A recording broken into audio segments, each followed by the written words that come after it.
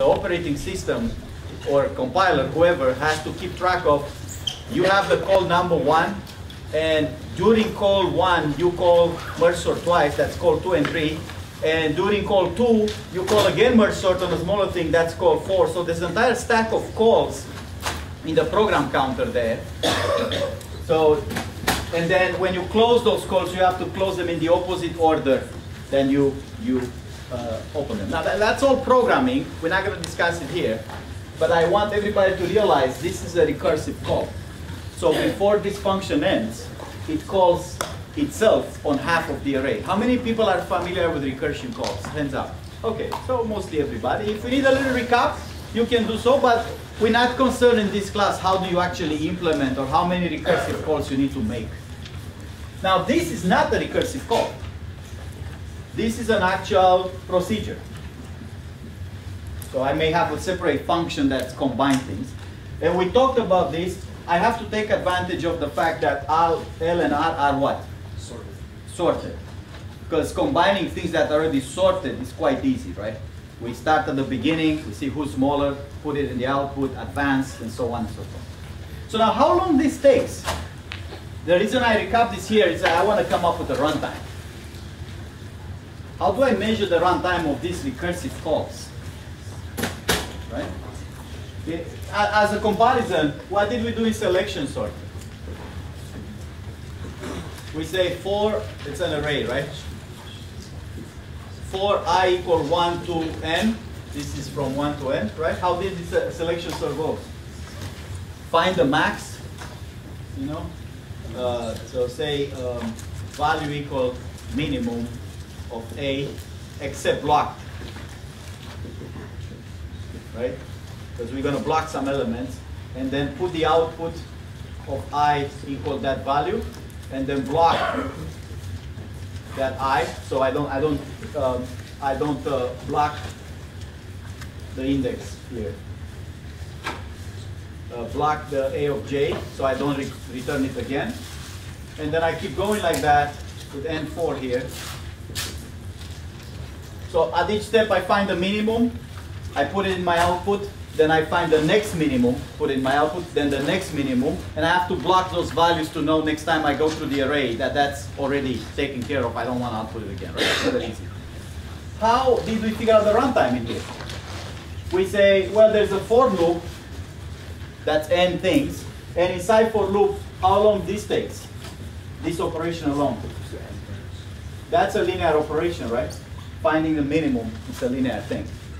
You have to go through the array to find the minimum. So if I do linear things n times, it's n times this of n squared.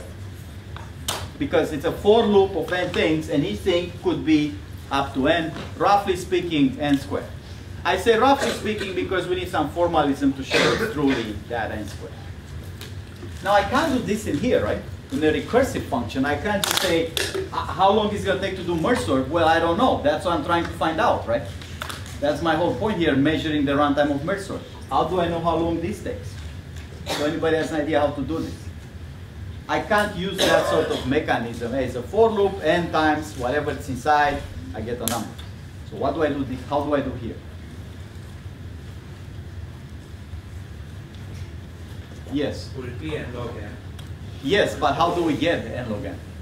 Yes. Uh, is the left side and right side both log to n time because it's binary?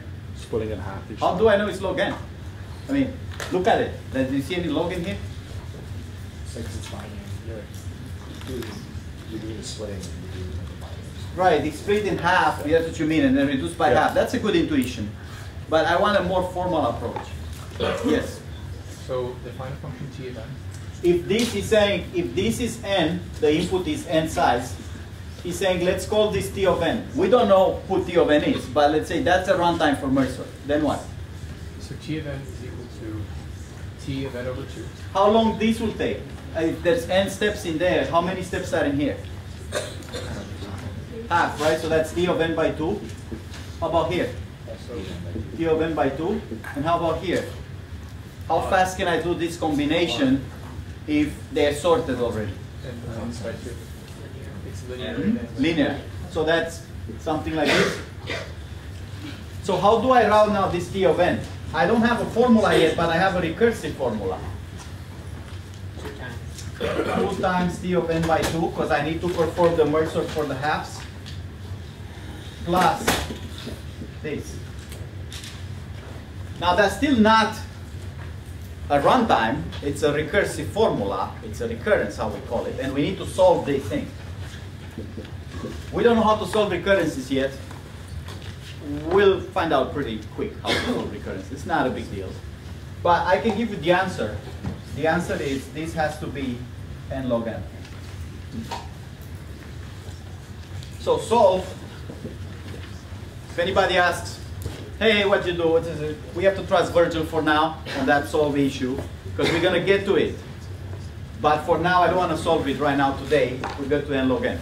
Any function that has this property, it's like n log n asymptotically. It could be n log n times a constant or plus a constant around, but any function with this property will, will come out as being growing like n log n, which is not as big as n squared, but definitely bigger than linear. So I'm going to put here n log n.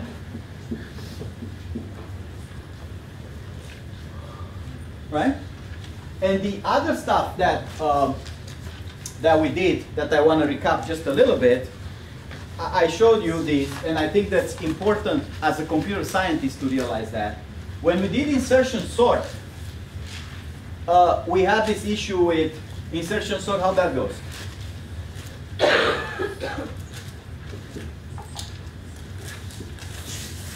Says for i equal 1 to n, we start with the array A, that's the thing. And I have here, say, output equal empty initially. And then I say for if i equal 1 to n, uh, I'm going to write it very informally. Insert the element a of i into the output. The output has to be always sorted. So of course, if I do this n times, by the time uh, I return the output, that's going to be sorted. Remember how we did this? We have the output partially sorted, and we drag the next value to the current correct position. So one step in there that we did last time might have been if I have already 237 in the output, and somebody throws at me a, a 5. That's the next element from A, right? That's A of I. That's 5. How did we insert 5 into this array? What was the actual mechanism to do so? Anybody remembers that? Somebody else. How did we move this 5? Because this output array has to be always sorted. It's not all the elements, it's only the ones that I processed so far. How do we put this 5 in the right spot? Somebody else. What's the mechanism? What kind of computer program do I need to write to move this 5 into the right spot? You guys remember from Tuesday? Because this clearly we did on Tuesday on the board. Yes, We'll compare it to the first element. with the last element, oh, the 7. And if it's, it's smaller, I swap, right? Yeah. So I get two, three, five, five, seven, right? Swap. And now I compare again with the one on the left. And I don't need to swap, therefore I'm done. So that's a typical insertion sort, but I showed you a different insertion sort. That I was saying this number here, this O of n squared, uh, theta of n squared, this corresponds to if I do, do use an array for the output. But I show you a trick. If I, if instead of an array, I use a balance tree. What was the answer there? How much? Why was it n log n? The algorithm remains the same, right? It essentially inserts, but I do n steps because I have to do something for each element. But what's the magic with that tree? Insertion takes how long? This takes, this, this step in here takes linear time in an array. or list. But if I do it in a tree, balance tree, how long would it take in a balance tree to insert an element in the right spot? If my structure is a tree, not an array.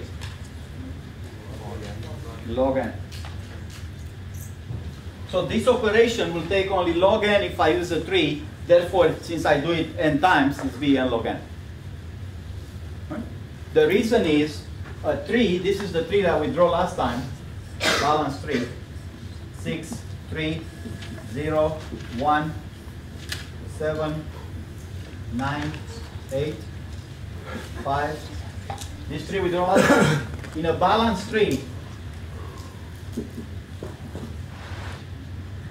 balanced binary search tree.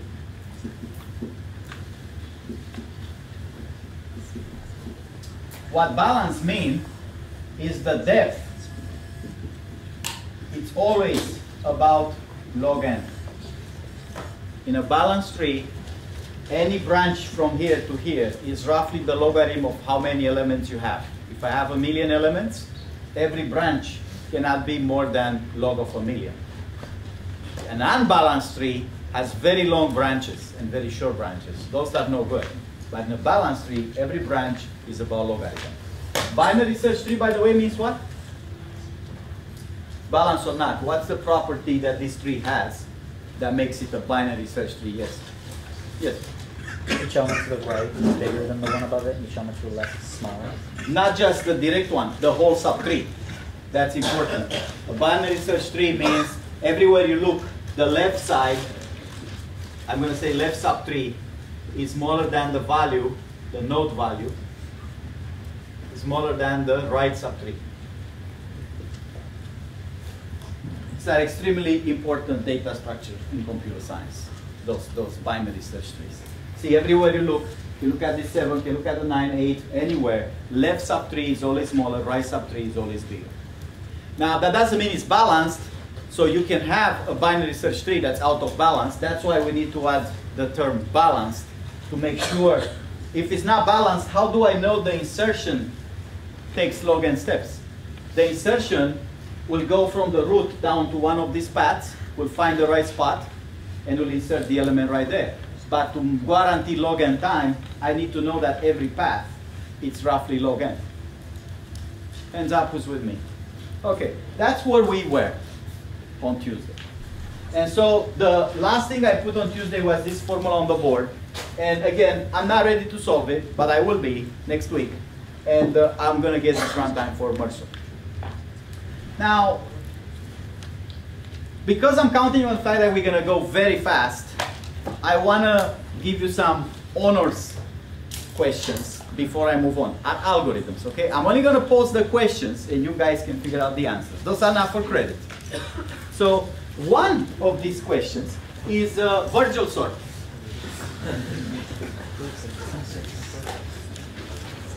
Let's see how this goes. In Virgil sort, I'm going to show you with an example. Um,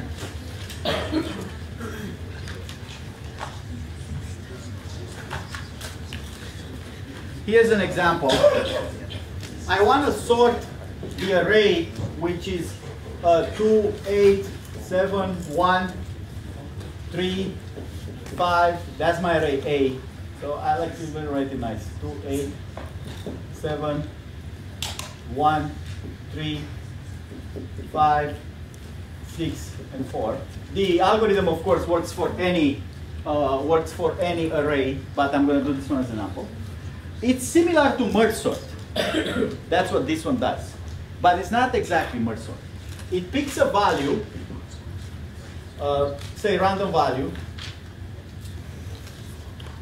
Uh, I'm going to pick the 4 in there. And then uh, it does for something that's called partition. I'm not going to describe the function, I'm just going to describe what the effect of the partition is. The function is not a big deal, I'm sure you can implement it. This function does the following thing. It looks at my array and it puts 4 in the right spot, like I know 4 is going to be here, this value. This I'm going to call this pivot.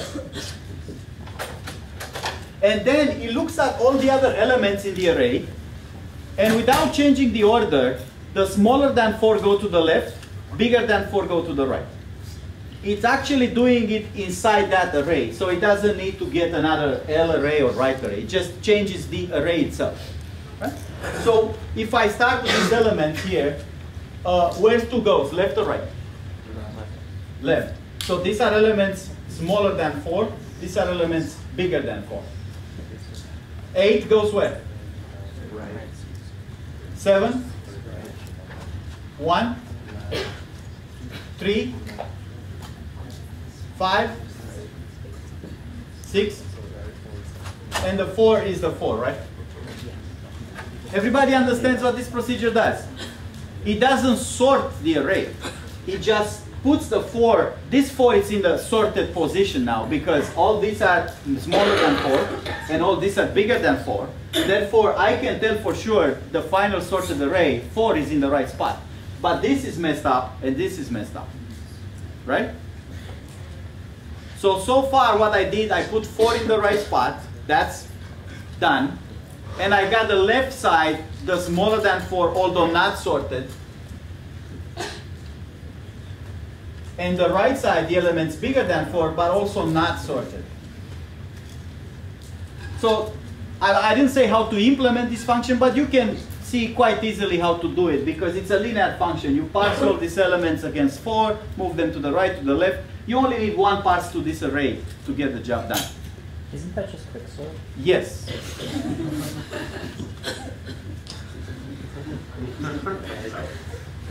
it is.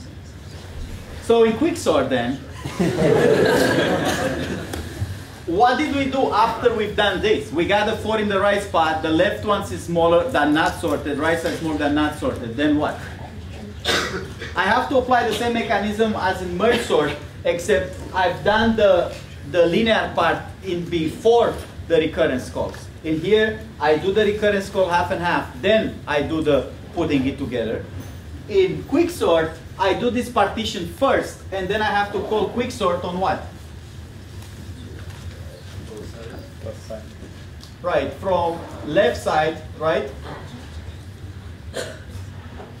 So left side is what? Is the array from the beginning to the pivot. Right, this is the pivot here. And then I call again quicksort on the right side, which is from the pivot to the end. This is the beginning. So this is the same array A that I've got. And that is quicksort. So what's the runtime of quicksort? This operation, I told you already, can be done in linear time. If you don't believe me, you can try to implement it. You only need a parse, one parse to the array. Once you know the value of the pivot, and you, you can get it done in one step. But this is the like in merge sort, I can't say it's n by 2, right? Because in merge sort, I knew for sure this is n by 2. Each half has exactly half of the elements because the middle was exactly in the half. In here, if I pick the pivot, I'm not sure the pivot gonna end up in the middle. Like I picked this pivot nice in the middle, but I could have picked the pivot the one, right? And if the pivot is here, clearly left and right side are not n by 2 each. So I think I have to say the runtime, if this is t of n, the quick sort, just like in merge sort, recursively, this is t of how much? How much is from the left side to the pivot? 1 to n minus 1. Why n minus 1? Because the pivot is already out of the list, so it's uncounted. Right, but I don't know from the beginning to the pivot how many elements are there. I think this is something like uh, pivot minus 1, and this is t of n minus pivot, right? Because this is how many elements I have here, and it's how many elements I have here. So I can't really write it the recurrence because I don't know who the pivot is. Depending on what value I pick, I get a different recurrence. So the t of n will be t of pivot minus 1 plus t of n minus the pivot plus the linear time to do the partition. This is the partition time. So we don't know how to solve this equation. Again, trust me.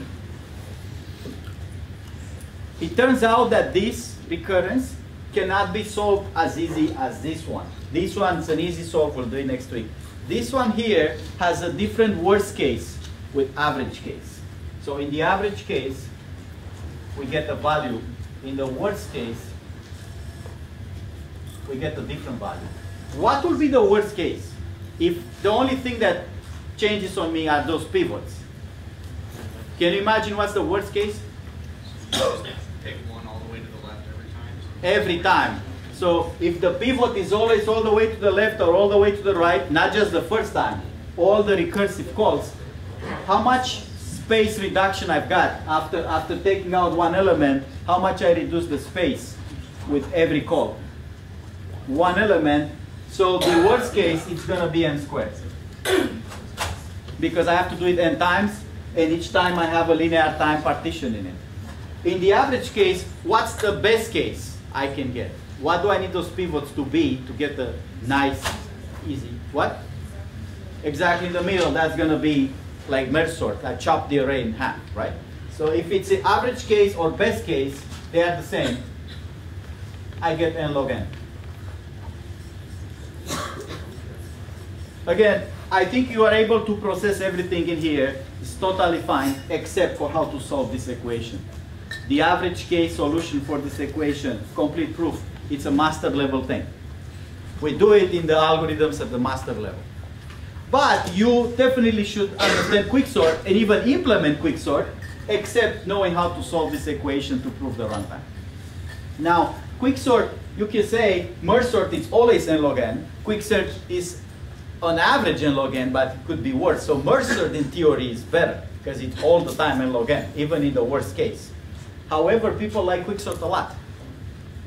Most of the default sorting procedures are quicksort in many languages because it's easy to implement, very rarely gets to worst case. You have to have an adversary to get the worst case. Unless the data is put by hand, uh, most of the time you're gonna get n log n. And it's interpretable, it's very fast, so on and so forth. So people like quicksort, even though theoretically you can get the same bad running time like the selection sort. Now, one more thing, insertion sort would be my favorite, except for balancing these three. So th that could be a pain, balancing these three. And you have to do it because otherwise the runtime is not guaranteed. But uh, they use something called red-black trees to balance these three. That's another master level topic in algorithms. Binary search tree you're gonna study in your algorithms course. But how to keep it balanced, that's a little tricky. Every once in a while, you have to check if it's out of balance, how do I balance? So that's one thing that I want to say. The other things are two questions that came up during office hours. Uh, interview sort of questions. I'm going to put them here for you to think about, but not the solutions. So one of them is, I have, here's a problem.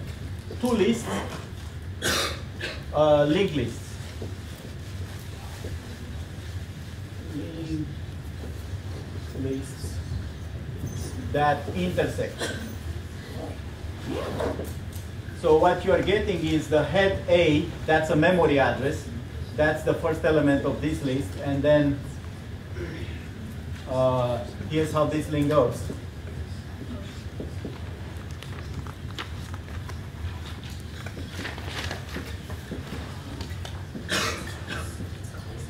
And here's another list, that's head B. So at some point they point to the same memory address. This is an object, could be a song, could be a number, could be anything, a web page. You have those two lists. I think you know how linked lists work. There's a memory address. Every object has its own value, whatever you want to store in there, like could be a number or a name, but it has a pointer to the next element. So if you look at those pointers, eventually the list terminate. Once they intersect, they have the same memory addresses. So you have to find the intersection. How do you, knowing head A and head B, how do you quickly find this intersection here? I know you can do it brute force, just fix this one, compare with everybody, fix the second one, compare with everybody, that will be n times n runtime. Is there a faster way to, this was an interview at Facebook question for quite a while, but now I think it's too popular for, for it to be an interview question anymore. So think about that. And the other one that, um, do you have any notes from yesterday? What was that array? Yeah, um, So here's an array. I forgot the example, but maybe he has it.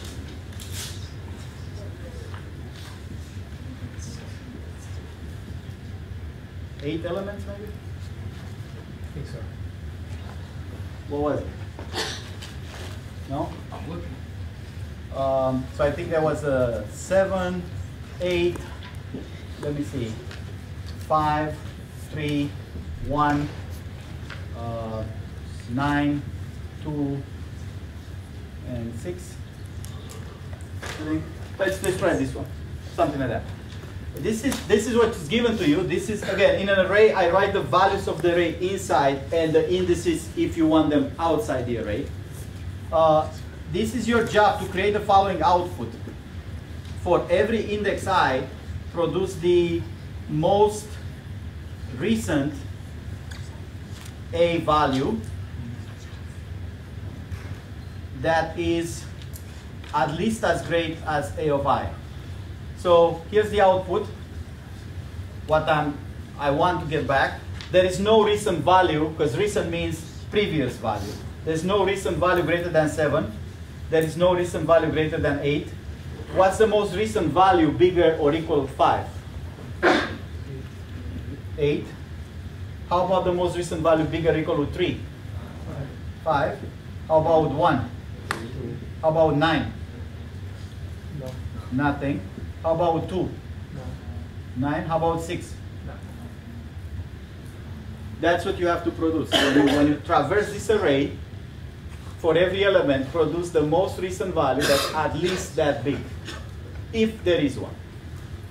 This is a problem for my algorithms exams at the master level. So in a CS 5800, I give this problem. And of course, you can do it in n squared time. That's trivial. For every element, go back until you find the most recent value that's bigger than it. That would be clearly n squared because you have to do this for all n elements, n times n n squared. Question is, can you do it faster than n squared? So you have two problems that are beyond the level of this class if you want to think of something interesting. Now, I want to talk a little bit about these functions here. More formally, what this symbol theta means. So how do we deal with this asymptote times? So we say a function f is, uh, I'm going to say theta of another function g um, is O of another function, uh, I don't know, h, and it's omega of another function L. So here's what I mean by that. When I say theta, I mean f of n is between two constants of g.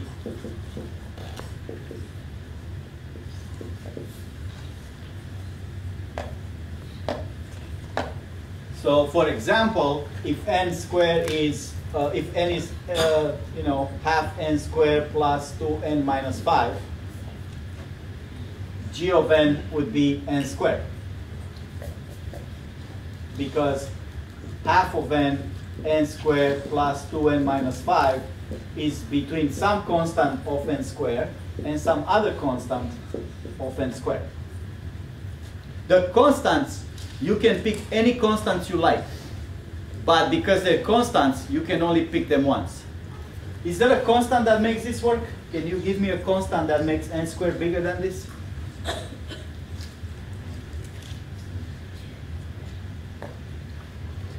Two, one, three, seven. A lot of constants will show that n squared is bigger than this value. How about C2? Is there a constant that makes this smaller than half of n squared plus 2n minus 5? Again, you can pick any constant you want. What constant would you pick? Zero. No, zero you can't, sorry. C1 and C2 have to be strictly positive. So you have to pick a constant that's a little bit bigger than zero. Eh, Can you pick one? Right, 0.001. And this C1 could be 100, I don't know. So that means F and G have the same asymptote, because we don't care too much about those constants. And you can show that if F is theta of G, then G is theta of F, because they have the same asymptote. Now, the sides are only half of it. So to be h of n, I need f of n to be smaller than some constant times h of n. So it could be the same asymptote or much bigger. For example, I could say n squared is uh, O of n cubed. Is that true? Can I find the constant times n cubed that beats the n squared? One, two, three. Can I say n squared is O of uh, O of 2 to the n?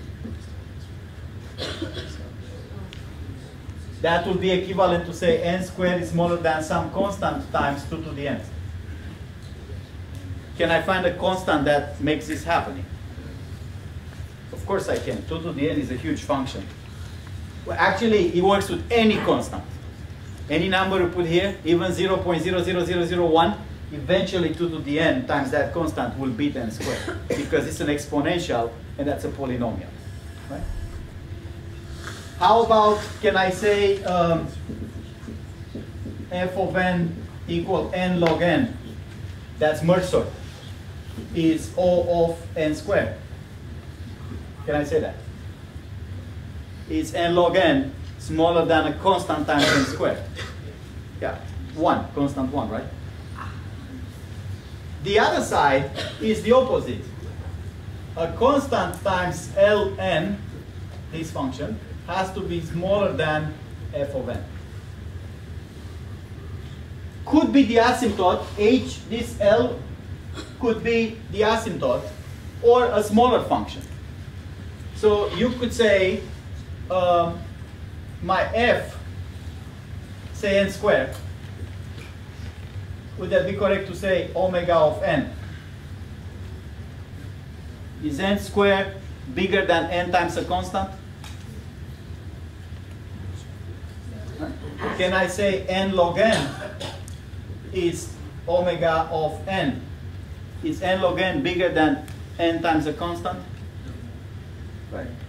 Uh, can I say um, n squared plus 5n plus 3 is theta of 3n squared?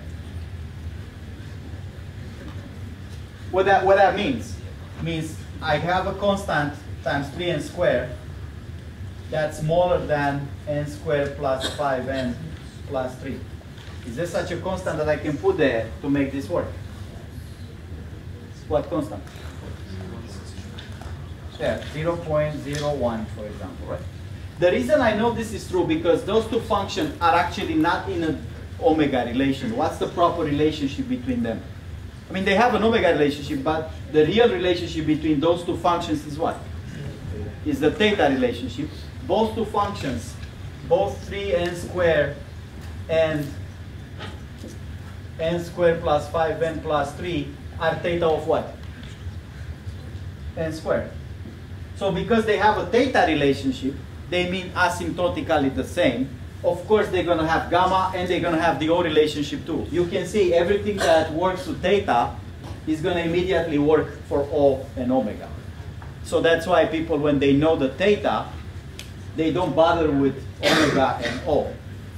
Because if I can have a theta, that's much more exact than just one half of it.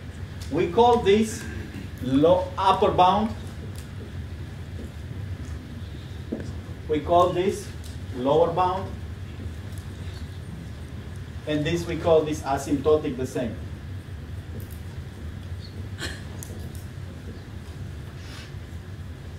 So if you look at the graph, here's my f function. An upper bound, it's bigger. That is the h function. A lower bound is lower. That is the L function. And uh, a g function that's asymptotically the same might be around there. That's a g function, same as f. Now, that doesn't mean they have to be that close. It means they have to be within constants of each other. Some part that I, I didn't put in here to not get dragged down into details is that the same like with limits. Those properties don't have to happen from the beginning. If you recall the homework 6, the infamous homework 6 limits problem, it says some property needs to happen to have a limit, but not necessarily the beginning of the sequence, right? There was an n0 there, a starting point at which it starts happening. Same thing in here. The beginning could be wild, whatever.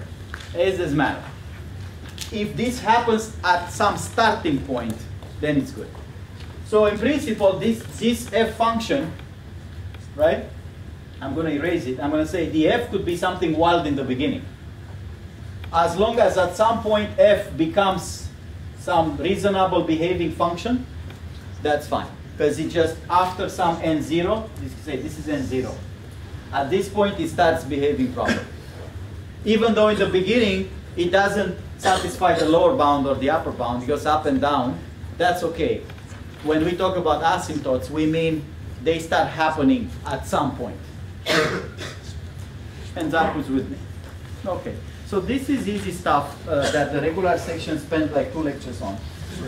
Um, uh, here are some examples. Like let's figure out what's up with these asymptotes. You're gonna get questions like this. What is the proper relationship between 2n and 3n? Which one of these operators I can put there? Theta, right? because it's the same asymptote. How about between n and 2 to the n? Is a theta bound? No. This is all off, right? It's smaller or equal than. How about n squared versus n squared plus n? Theta. How about um, n at 1 half versus uh, n. This is like the square root, right? Is it a theta bound at, at the square root of n and n within constants of each other? Yes or no? No. So which one is this a O or theta or omega? What do I write? Oh, Oh. How about square root versus the logarithm? Are they the same? Are in a theta relation? omega. Omega, do you think the square root is bigger than logarithm? Like asymptotically bigger? Maybe. How about n at 100 versus 1.01 at power n?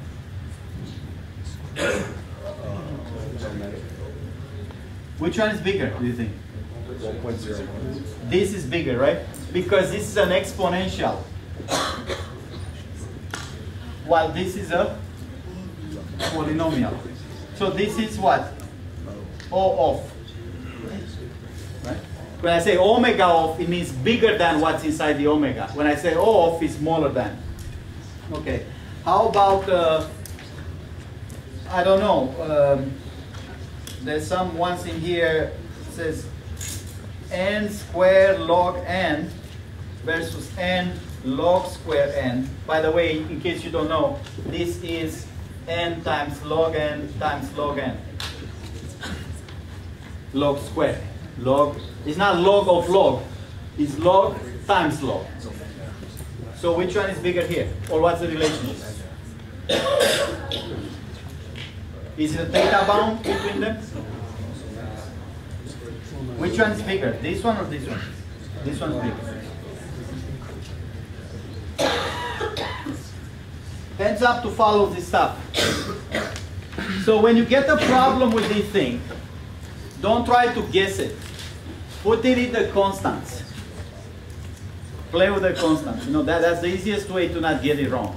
If you're not sure, like in here, I would say, okay, I'm not sure. I need n squared times log n to be constant times n times log n times log n. Log n goes to log n, square goes with the n, and now I have n constant times log n. This, this, the relationship is asymptotically bigger. A polynomial will always beat a logarithm. An exponential will always beat a polynomial. How about the factorial? What's the relationship between n factorial and 2 to the n? Which one is bigger, or are they the same, asymptotically speaking? n factorial is bigger? Like that? Yes. Okay. So if it's bigger than 2 to the n, will also be bigger than any polynomial, right? Because 2 to the n is bigger than any polynomial. Right? All right. So uh, that's what I think we have to do with these um, functions. Do we have time, do you think? We do. Let me show you one more cool thing about these algorithms. And you get to tell me what's the runtime. I have another Virgil sort, version 2. Okay. So that one didn't go through. It's quick sort. Here's another one.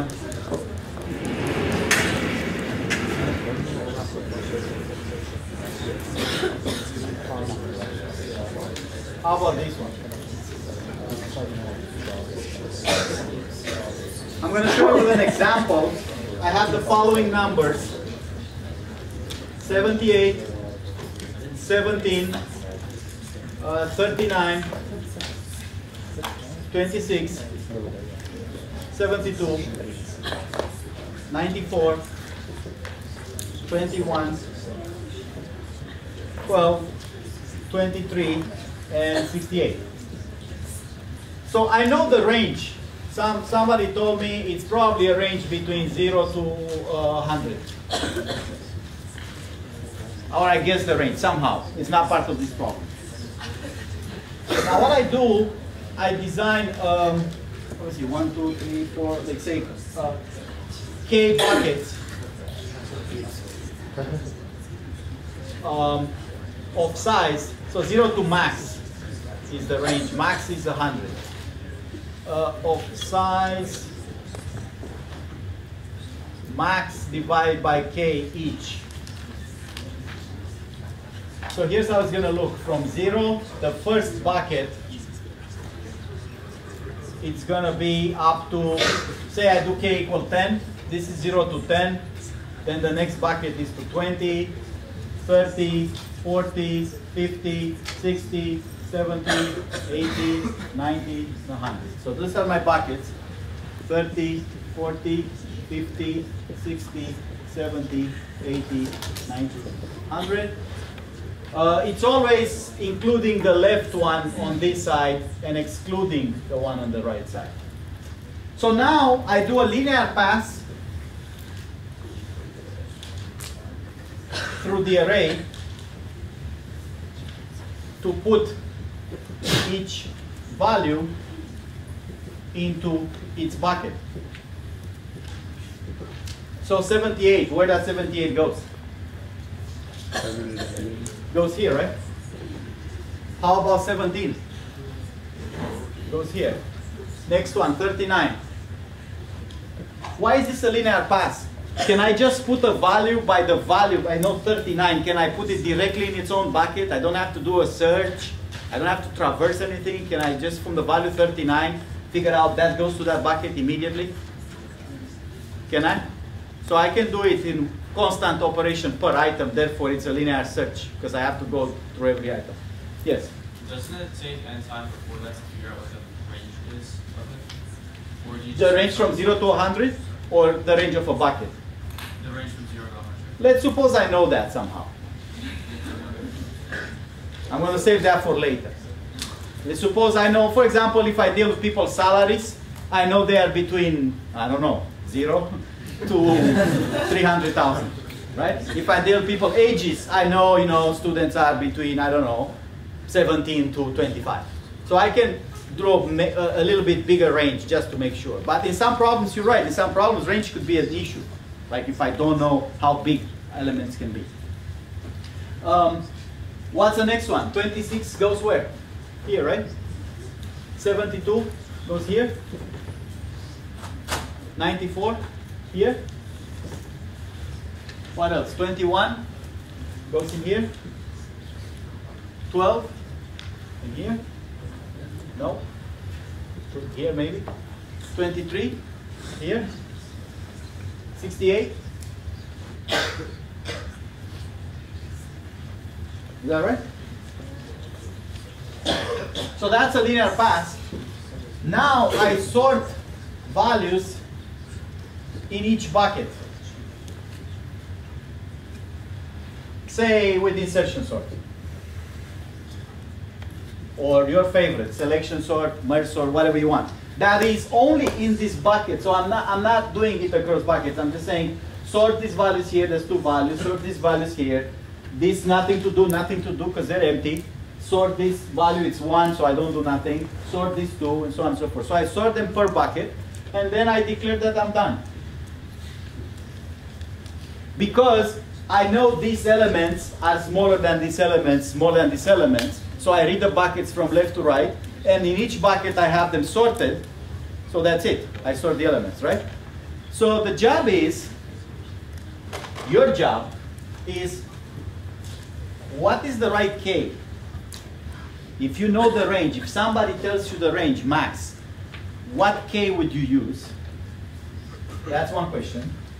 What's the assumption of theta values in terms of distribution to make this a good method? I need a certain assumption, otherwise this method is not buying me anything. But if the numbers have a certain characteristic, these values, then it's a good method. And what's the running time? Meaning data of something, right?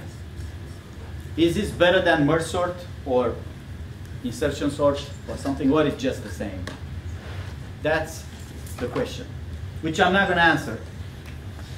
But I have another question. Anybody knows the name of this thing? Sort, bucket sort. Bucket sort. I thought it was Virgil sort. All right. I have a third version of Virgil sort. Let's see if you guys know that one too. But the running time of this one with some assumption in the right K, that's an interesting thing to know. Uh, was an interview question. Here's the last, my last sorting method I have.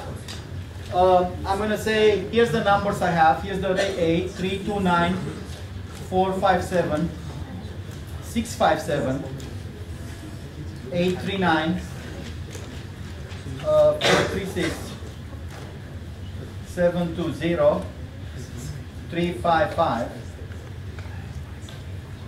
I'm going to first sort these things, sort by last digit. But I'm going to use a stable sort. Everybody knows what stable means for a sorting method? Stable means items don't get swapped unless they have to be swapped. In other words, look at me here. If I sort by the last digit, I have a 9 and another 9. I could keep the order or reverse the order of those two nines because they all all the same, 9, 9, right? A stable sort says if you don't have to swap those two, which is my case here, this 9 with this 9, leave them in the order that they are.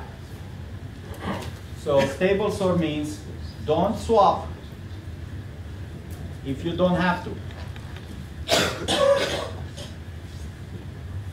Some things have to be swapped. 9 versus 7, these are in the wrong order, right?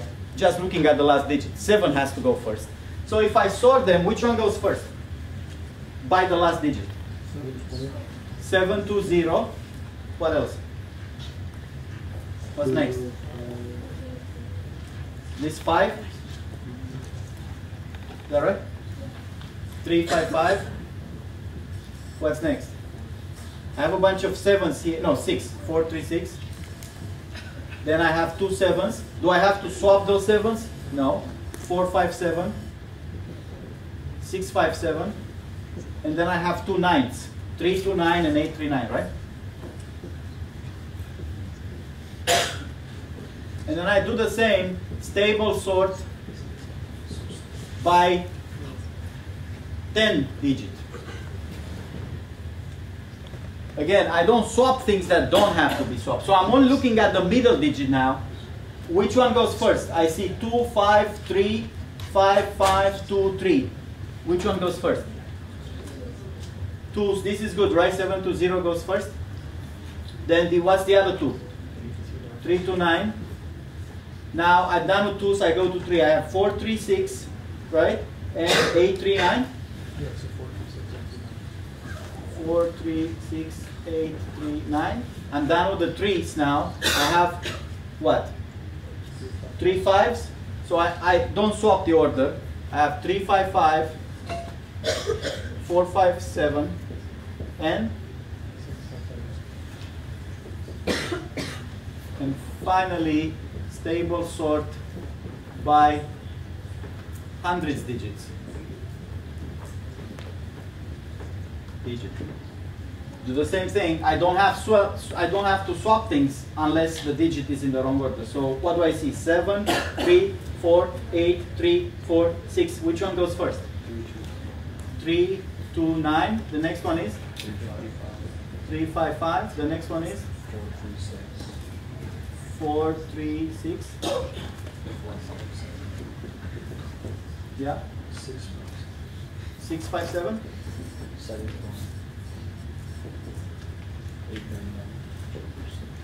I declare done. I saw the numbers.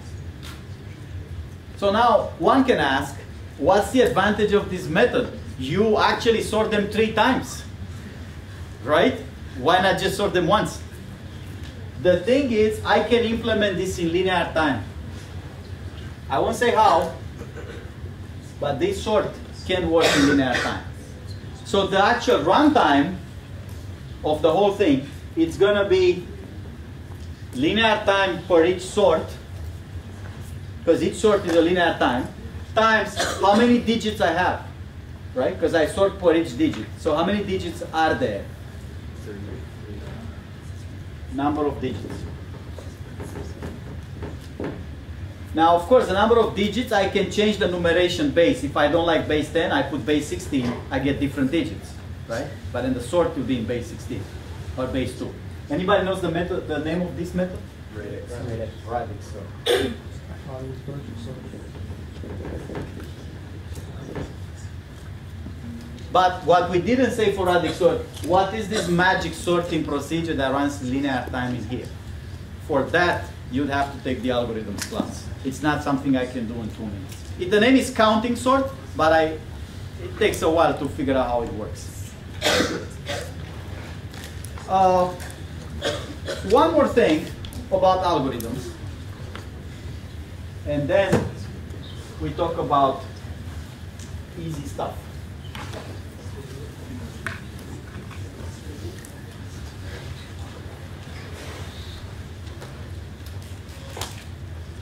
any search based on comparisons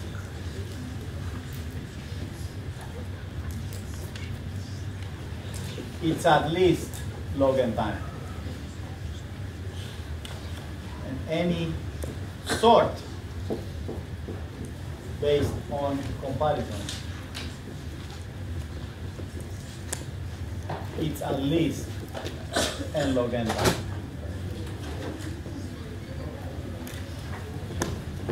This is a fundamental theorem in computer science. I'm going to do the sorting one.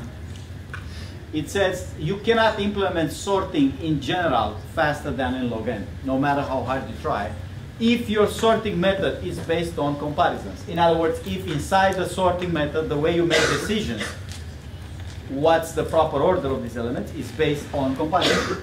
I don't know if we still have that. So if you recall uh, insertion sort, for example, what's the key inside insertion sort? It's gonna ask, is this number bigger or smaller than this other number to swap? Or in selection sort, the key is to find the minimum at each step. That's based on comparisons. All these sorting methods are based on comparisons. So what this theorem is saying, it's saying merge sort is optimal. You can't do faster than merge sort, asymptotically. It's important to know that. Although some methods could do a little faster, bucket sort is faster, radix sort is faster.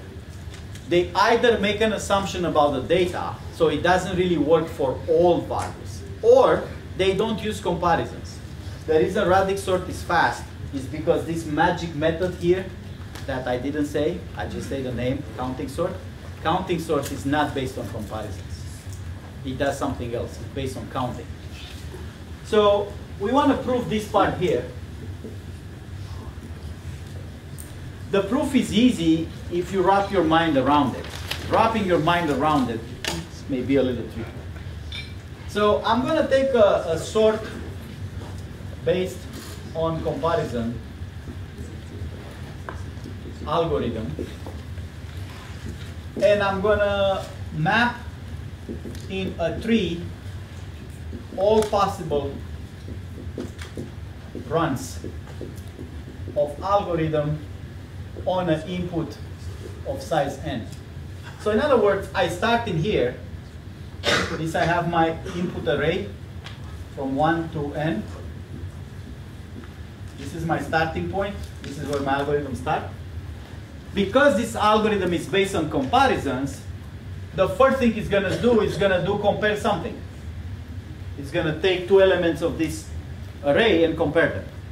And depending on that comparison, it might choose to do something else. Right? It might be this is A1 is bigger than A2, and this is A1 is smaller than A2, for example. And now in here, my algorithm is going to do a different comparison. And here, a different comparison. Now, of course, for different inputs, different arrays, it's going to go to different branches because it depends. This is this shows all the possible runs of the algorithm, right? So it's going to do another comparisons and another comparisons, and you know, here it's going to do another comparison and so on and so forth. At some point, at some point, every branch will terminate, will say stop, and will output the order. Right? It's going to say, I sorted the array, I have it in order, I'm good. Some branches may take longer than other branches. Some branches will stop really early, maybe. Some branches will go all down. Because some, some runs will take more comparisons than others. Sometimes you're lucky. If A1 is bigger than A2, and A2 is bigger than A3, and A3 is bigger than A4, you don't have to compare A1 with A3 and so on and so forth, because the, the comparisons have a transitive uh, principle, right? My point is this. How many leaves do I need to have in this tree? This is all possible runs of the algorithm. How many possible order outputs are there for any input of size n? How many possible orders are for these elements? Could be A1, A2, A3, A4.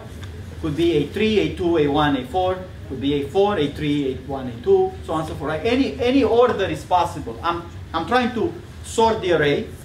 So array is given to me from 1 to n, but the output order could be any sequence of those indices, right? So how many possible outputs this algorithm must have? Yes. n factorial outputs.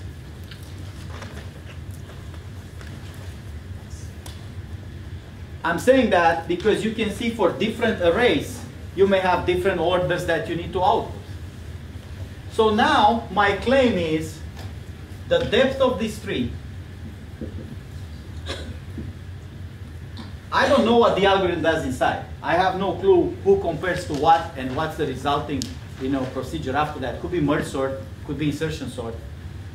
The depth of this tree has to be such that the number of outputs is n factorial. There was a theorem in your recitation. Remember that? This is a binary tree because any comparison can have two or three outputs. Say binary meaning equal or smaller or higher, right? Two outputs. Remember that thing from the recitation paper that says in any binary search tree, I think we did it in class, in the recitation class. we were saying in a binary tree, what was it, the depth has to be at least log base 2 of the number of nodes in the tree, remember? And we did it with strong induction with two subtrees. That's true for any binary tree, whether it's a binary search tree or an algorithm tree or whatever, doesn't matter. Any binary tree has this property. And I say the number of nodes, those are all the nodes, that's more than n factorial because that includes the intermediary nodes in here. But I have n factorial just outputs. So this equation, if you solve it, I want you to prove that depth, if this is the, it's gotta be at least n log n. Or some function that asymptotically is like n log n, could be half of n log n within constants. So that requires a little bit of arithmetics here because I have the depth, sorry, logarithm of n factorial. How did I prove this theorem? Assuming you guys do the arithmetic here. I say, look at all the runs of this algorithm, all possible comparison sequence that it could make for an input of size n. All those runs, a run, it's going this way, that way, this way, that way, until it reaches a stop, which means it sorted my array. Different arrays will cause different runs in this tree. I know I, I have at least n factorial outputs to be correct, because there's n factorial possible sorting outputs. So my tree has to be deep enough to allow n factorial outputs. I use the recitation result that says the depth has to be log of number of nodes, that is at least n factorial. And here, if you solve this equation, log of n factorial, I think you're gonna get an asymptote that's n log n. The actual function is not n log n, but asymptotically it's like n log n, within constants of n log n. So this shows that any sorting algorithm based on comparisons that takes branches, depending of is that bigger, is that bigger, will have to have the running time at least n log n. Radix sort, bucket sort, and other methods run faster than n log n because they either not based on comparisons or they make certain data assumptions that says I only works that fast assuming the data has this characteristic. This says it has to work all the time, no matter what the data is, no matter what the uh, lucky or unlucky you get. So if you finish this, try to prove it for the search, same exact way. That's all I have to say about the algorithms. So now, we're going back to, uh, some of this stuff is, is uh, in the honors uh, material in the sense that I don't think you're going to have any questions related to this, but this will be quite useful when you take the algorithms course because then it's required. Um, same with those problems, you need to know bucket sort and radix sort right now, but when you implement right programs and you go to the algorithms course, it's quite useful to know these other sorting methods, how they work. If you do data science, in data science, data assumptions are critical. In order to solve those problems fast, you need to know how the data is distributed. It makes a huge difference if you get the distribution right or wrong. So applying the right sorting technique, for example, bucket sort, for the right data could save the day if you deal with a billion customers. Because these numbers, these asymptotes, they're not that different when they're small. n log n versus n squared, is not a big deal if n is 10 or 20, but if n is a billion, how much is n log n if n is a billion?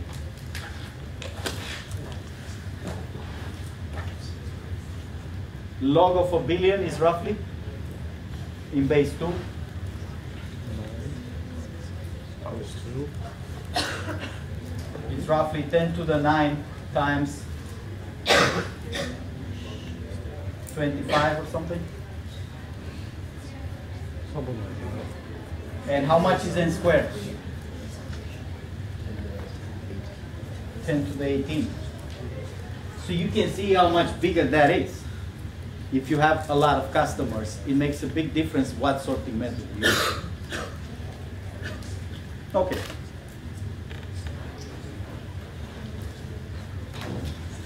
Uh, questions about this theta and big O and omega, you know, compare 2 to the n to 3 to the n, for example. What is the right what is the right function here? That you're gonna get as part of your quizzes and exams. So that's absolutely required to understand how this works. What's the right thing here? Hmm? Is it, is it theta? Is 2 to the n the same asymptote as 3 to the n? Is 2 to the n within constants of 3 to the n? Can you find the constants? What constant would this be? 1. What constant would this be? Is there a constant multiplied with 3 to the n to always be smaller than 2 to the n? This C2 will have to be smaller than 2 to the n by 3 to the n, right, by doing the division here. Is that possible? No. The only constant will be 0, but 0 is not allowed. So that means I've got my sign wrong here. What is this? Oh, right? 2 to the n is smaller than 3 to the n. Always play with those constants. Don't guess it. Put the constants in and actually figure out the constants. To be sure, the most sure way to be sure you got it right is to say C1 is 1 and C2 is 0.05 and that works. That way you know you got it for sure right. Now, I love algorithms. I would spend another week on them. It's my favorite class to teach. I'm going to teach it in the summer, the master ones. And you're welcome to sneak by to see how that looks like. I'll, I'll give you a recommendation for which lectures are worth, you know, attending. Uh, but I have to move on, unfortunately. And uh, we're moving on to really, really like, if you felt like before we're going all the way back to high school, and sometimes to elementary school, now we're going before you even went to first grade. That far back we're going now. So what's the alphabet? See? See how far we have to go. What is it? H, I, J. N, O. O, P. Q. R. S. T. U. V. W. X. Y. Z. what is it? W? X. Y. Z. You got it. So now, let's uh, say, Could you, could you elaborate? so now let's say I want to map those letters into numbers. I say 0, 1, 2, 3, 4, 5, 6, 7, 8, 9, 10, 11, 12, 13, 14, 15, 16, 17, 18, 19, 20, 21, 22, 23, 24, 25. Right? Okay. Uh, so,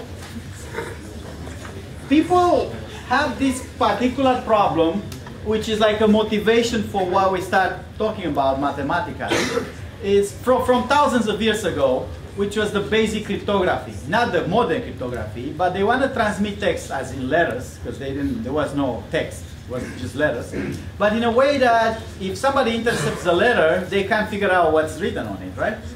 So they didn't know mathematics and didn't understand that cryptography or security has to do with math. So they come up with some heuristic to do so. A famous heuristic is called Caesar, Caesar cipher or encryption. That was a very basic thing.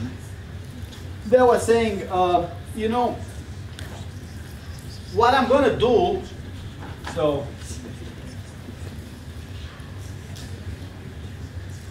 cipher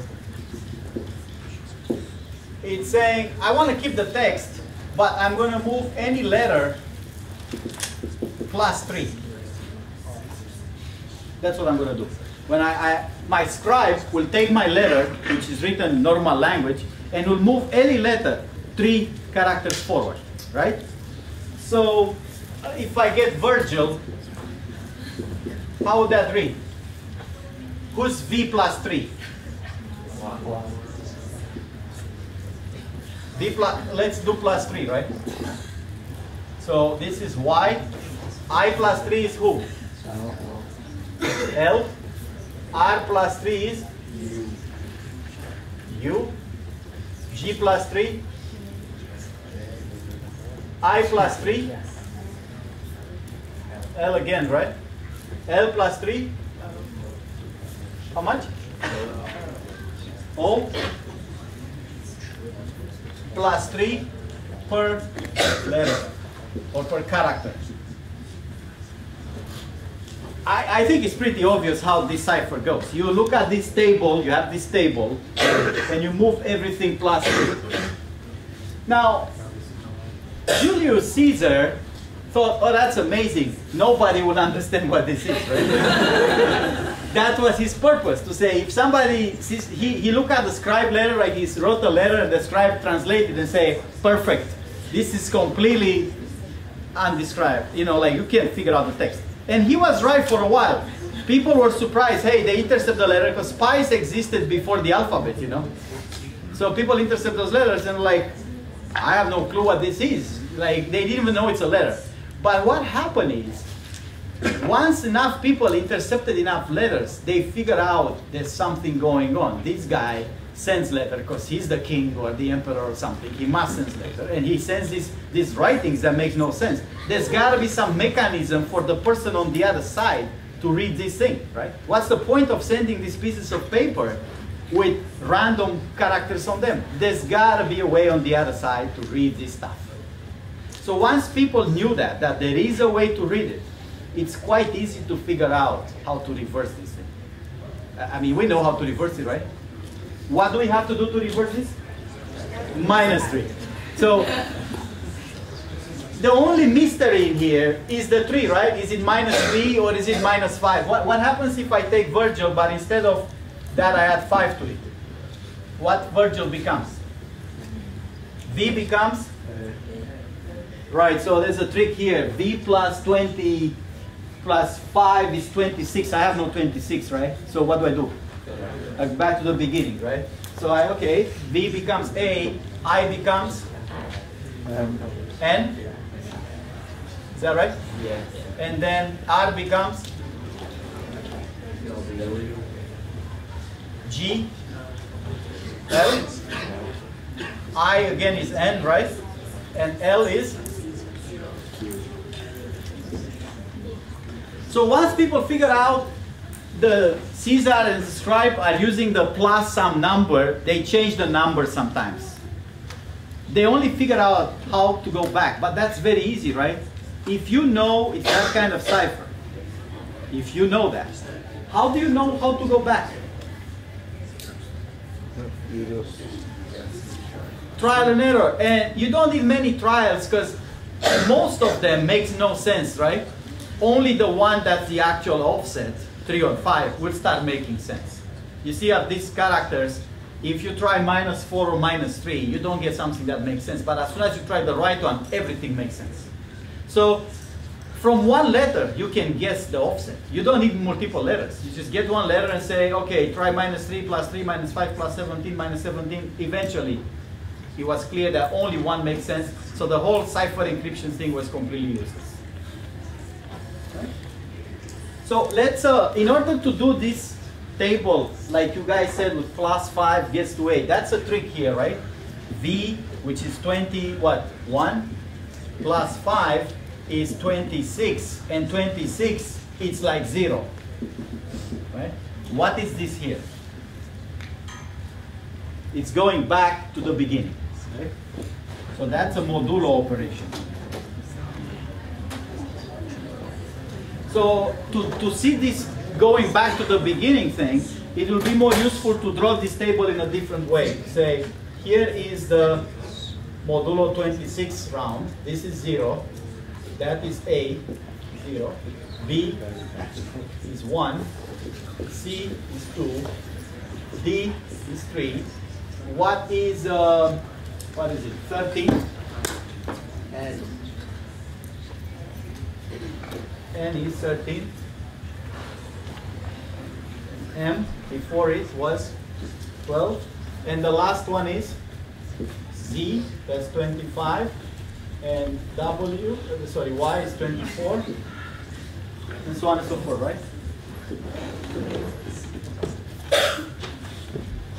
So I think if you see it this way, it's really easy to see what's going on with this plus. If I, if I add y plus 5, I'm going to get 1, 2, 3, 4, 5. I'm going to get to d. Right? And minus, in here what I want to point out this way, if I do y plus 5, I get 1, 2, 3, 4, 5. I get d. And if I do d minus 5, I get y. And if I do d plus how much, I get y. Instead of minus 5, instead of going minus this way, how many ticks I have to go the other way? 21. Okay, Everybody sees that? Instead of going, how many total ticks are on this circle? 26 ticks.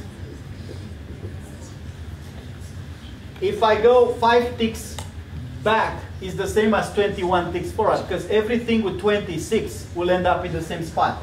Anything plus 26 is that thing. Any, because if I go 26 ticks, I go exactly where I start. Right? Uh, that's pretty much the whole lecture. No. There's more in here. Hold on. Uh, there is a mathematical way to do this. This is the prior first grade stuff. But then mathematicians said, you know, we have another way to represent this stuff. We call it Z26. 0, 1, 2, up to 25. These are remainders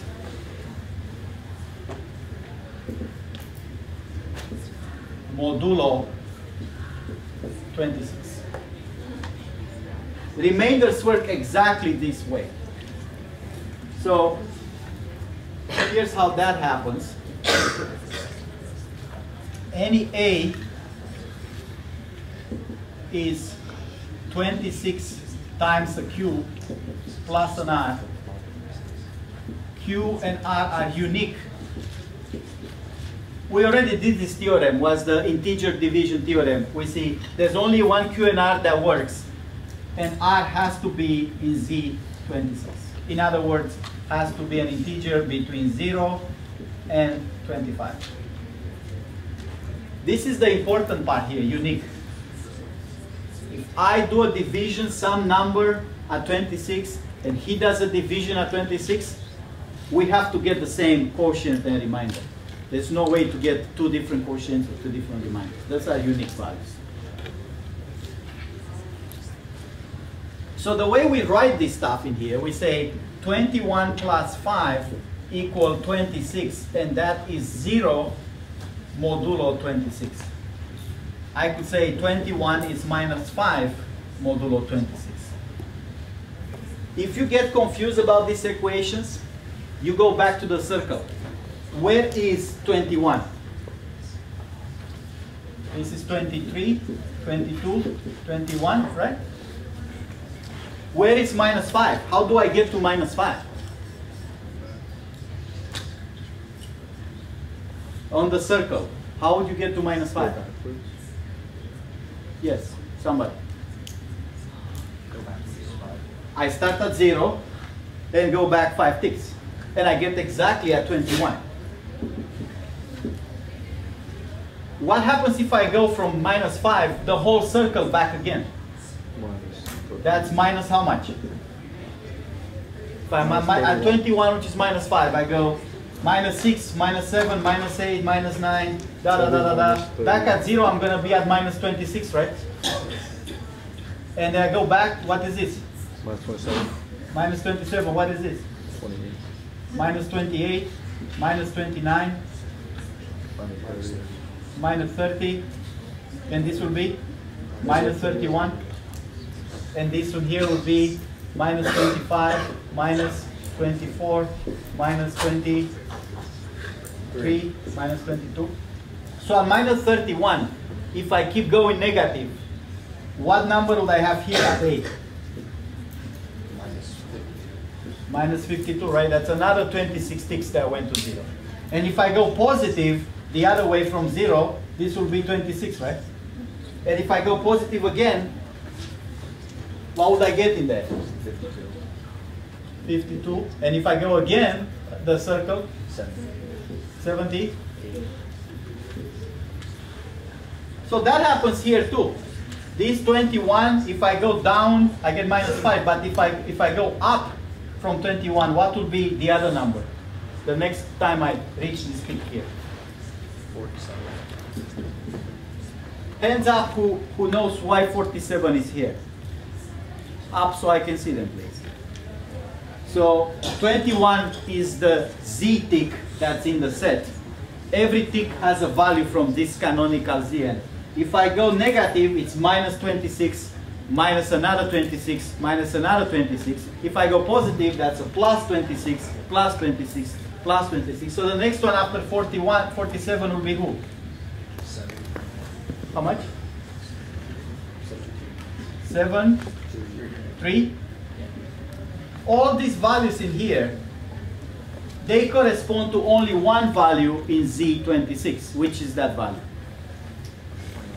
21. So 21 is the canonical value, but every other integer that passes through this path is 21 plus or minus a bunch of 26s. And that's true for anything. This 13, if I take 26 out of it, I'm going to get minus 13, right? Again, minus 39. If I add 26 to it, I'm going to get, Thirty-nine. how much do I get if I add 26 to it? Thirty-nine. Is that right? Yeah. So you can do this for every single tick on this circle, and that's how modulo 26 works. Um,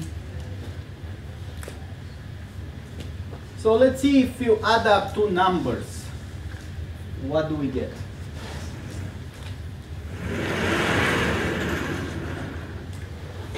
If I do an addition modulo 26, I get, say, I want to add 17 plus 21 plus 53 mod 26. I say I can do this in two ways. I can do the addition and then take modulo. And you take modulo, you guarantee to get a number in here, because it's a reminder. So when you take that modulo, you have to get a number between 0 and 25. Or I can do, I say, this is the same as doing it this way. Modulo 26 plus 21, modulo 26 plus 53, modulo 26.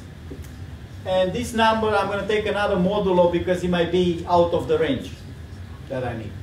So let's see, if I add up those numbers, what do I get?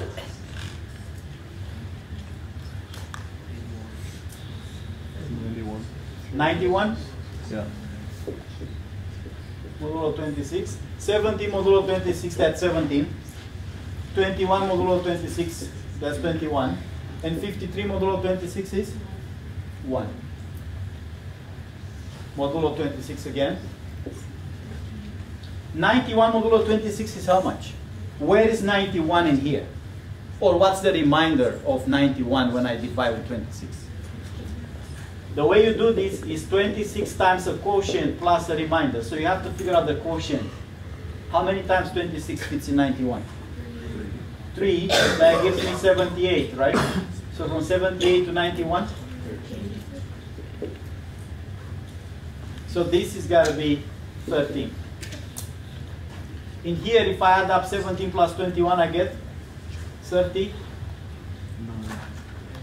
8. Let's say it's 38 first. Modulo 26 plus 1. So 38 modulo 26 is what? 12, right? Plus 1. Modulo 26 works because 12 plus 1 is 13. So this modulo operation, when you add things, you can take the modulos anytime you want.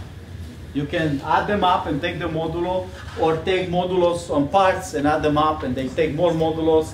As long as in the end you end up with a number in here, that's going to be correct. Right? Eh, the same thing works for multiplication. Um, how about 40 times 39 uh, I'm going to change the modulo here. I'm going to say n equal 11, so I'm going to do this modulo 11. Everybody realizes 26 is just a random number here. I could do it 26, 47, 11, 2, 3, 4, any, any modulo I want. So if I do modulo 11, can I say that this is 40 modulo 11 times 39 modulo 11? How much is 40 times 39? If I do the, the multiplication first. How much do I get? One five six zero.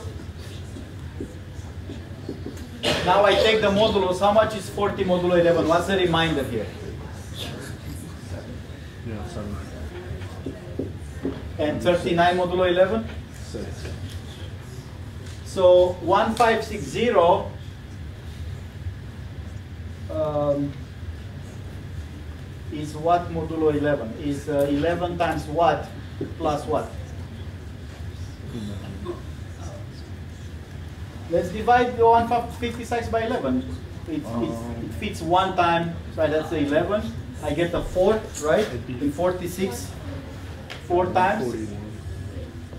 And then 4 times 11 is 44. Out of 46, I get 20. 20 fits 1, right? And then what's the remainder? 9? And then 7 times 6 is Forty-two. 42. Modulo 11. So this is 9.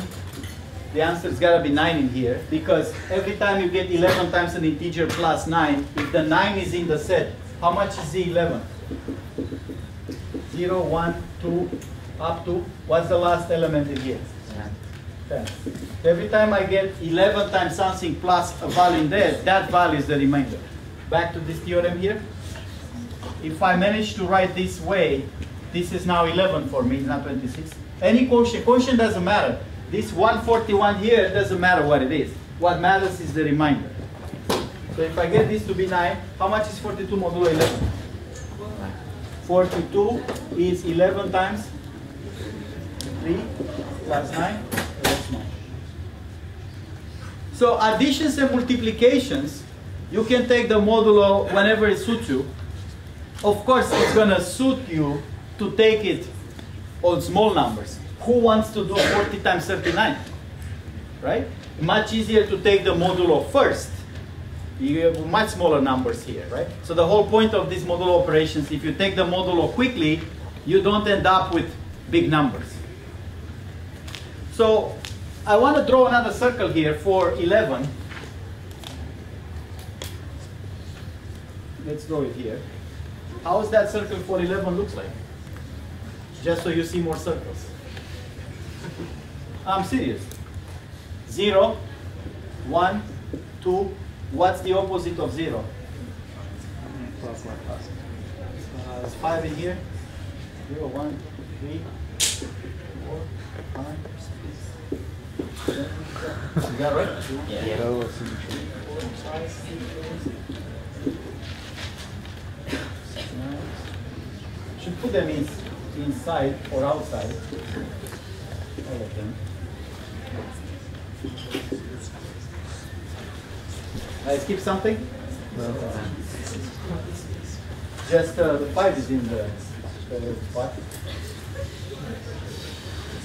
Close enough. All right. So what happens on this circle? If I take 11 out from 0, I go backwards. What am I going to end up here? At minus 11, right? Then if I take it again, minus 22. But if I go the other way from 0, I end up at plus 11, plus 22. How about, say, in 7? If I go backwards, what's the other number? Minus 4. And if I go again backwards, I get but if I go the other way, 7 plus 11, I get 18. And again, all these numbers are the same remainder. They all of them are exactly 7. So if somebody asks you for a remainder or a canonical value z11, you can't say 18 or 29 or minus 4 or 15. You have to say 7. Okay? And I want to draw one more circle. One that's very dear to us computer scientists. I want to draw the circle that corresponds to a power of 2. So say I have 8 is 2 to the 3. How that circle looks like. This is 0.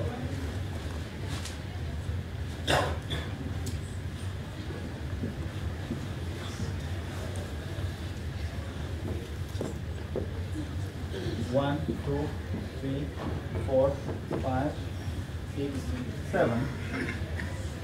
And then Z, Z uh, 8 is of course 0, 1, 2, 3, 4, 5, 6, 7.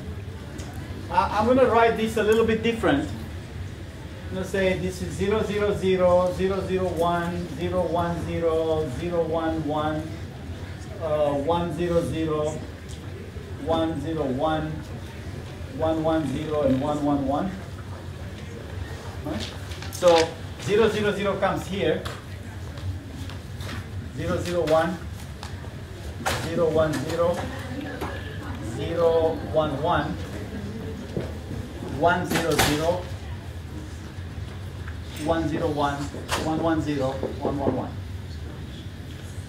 Remember when I said at binary numbers that we need to implement the negative ones?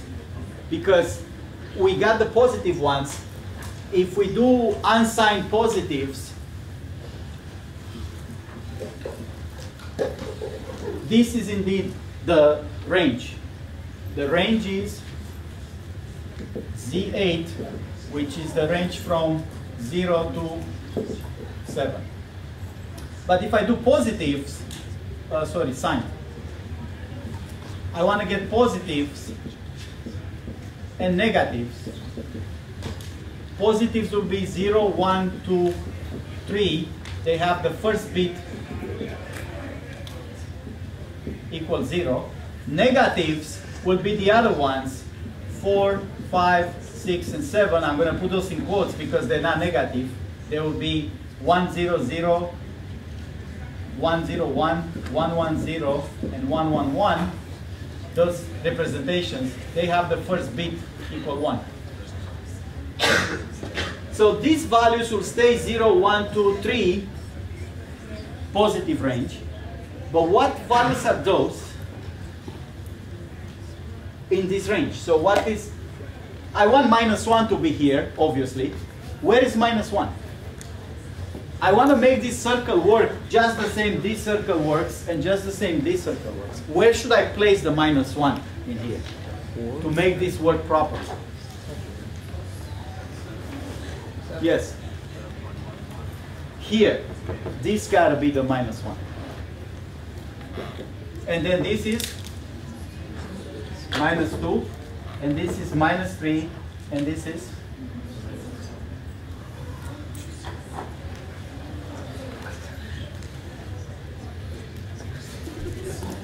We got it right? Minus 4.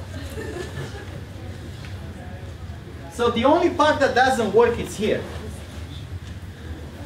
Right? You can see how if I add 1 to here, I get to the next one. Is that correct? If I add 1 value to here, I get to this one. If I add 1 to minus 1, I get to here. If I add 1, works fine. The only problem is here. How, how does this thing happen? If you have 0, 1, 1, why if you add 1 from 3, you get to minus 4? Right? That, that doesn't seem proper. So this is the how the two's complements work. And uh, there's a formula in the textbook and in the slides how to transform decimals into negative two's complement. Please do not read that formula. It's the fastest way to get mistakes. There are three rules. Nobody can remember them. Very easy to get stuff wrong. The only formula you need is I want to transform a number in negative.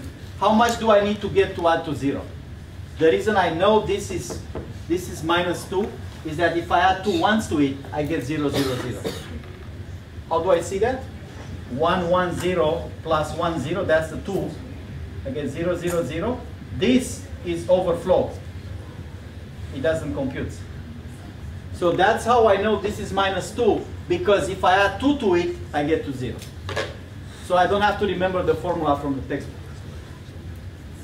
The only problem what you have to figure out as computer scientist, is how does this happen? How computers can deal with part, this part in here? You, what you have to understand is computers, when they have only 3 bits, or 4 bits, or 6 bits, or 8 bits, they ignore completely what com comes out of those bits. Whatever the result they get on those 3 bits that you allocate, that stays. The overflow gets erased before it's written. They, if you have only 3 bits, the, the next bits are not written in memory, because they never overwrite whatever's in there. So if I know the result on 3 bits, it's only those 3 bits that matter. That's what makes the two complement system work. So this effectively is a modulo 2 to the n when n is the number of bits. That's another great way to do two, two's complement correct. If you know you have 8 bits, everything is modulo 256 in there. It's, you know, around the circle. So uh, that's what I have. We're going to talk much more about modulo arithmetic, and we're going to talk much more about the ciphers. Uh, one more thing. The honor section will have different notes for the number theory. So there's slides in the regular sections, just like everything. Those are the same slides you've seen before, but your required notes for reading will be those notes, which they don't have. Now, there's more in here than what you need, so I'll have to trim it down. But in terms of studying, you'll have to study from these notes, not from the slides that's going to be available from the other instructors.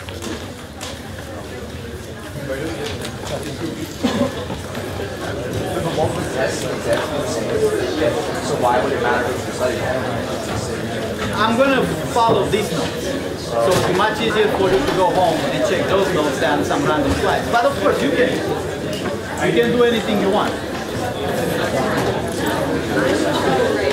Yeah, I'm kind of doing that. Why? When?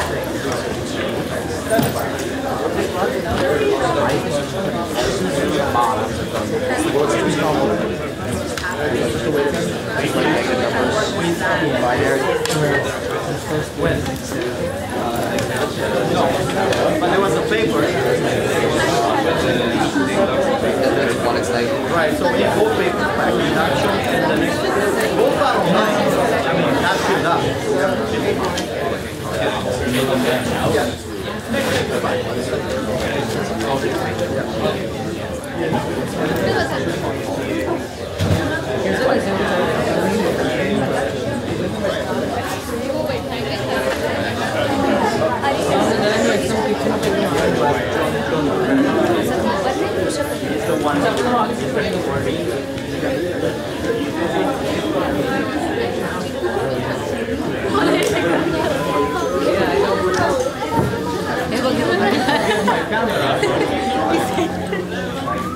Gracias, it off.